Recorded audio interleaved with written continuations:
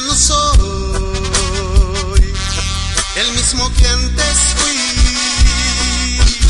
Todo se ha tornado diferente, pues ya no soy igual al resto de